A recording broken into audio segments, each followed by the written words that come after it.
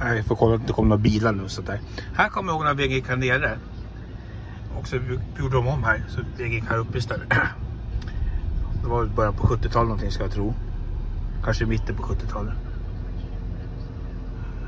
Så här nu gick vägen innan.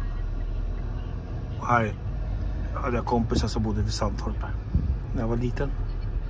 Så jag var och lekte ganska mycket.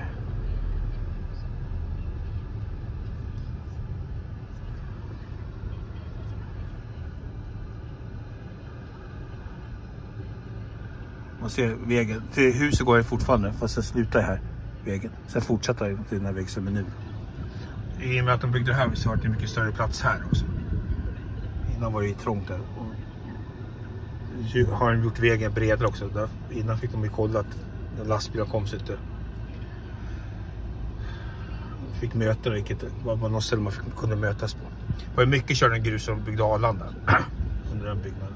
Fast det här byggdes om senare i den där biten. Men de höll ju på länge vid Arlanda. Så jag på, körde mycket grus här när jag var liten på 60-70-talet. De hade ju börjat innan. Dess.